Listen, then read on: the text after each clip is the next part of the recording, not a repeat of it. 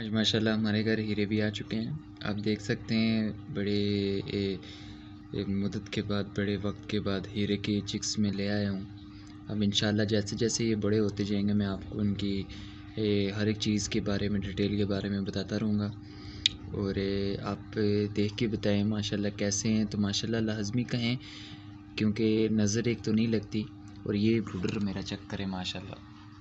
ब्रूडर मैंने ये एक, जो फ़िश बॉक्स होता है ना, उसका ब्रूडर बनाया है। उसके अंदर सौ वाट का बल्ब लगाया है, ठीक है? उसके साथ टेम्परेचर कंट्रोलर लगाया है, जिसके साथ बल्ब ऑटो ऑन ऑफ़ हो जाता है।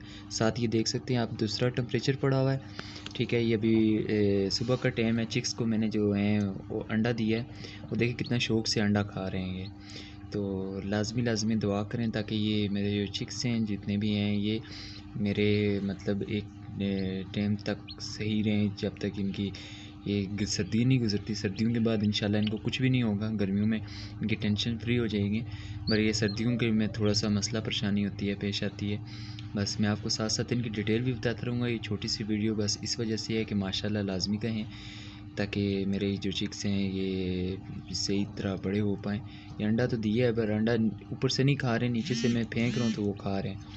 तो दुआओं में याद रखें, अपना ख्याल रखें और चैनल को सब्सक्राइब करके लाजमी जाएँ। और फ़ी ईमान अल्लाह।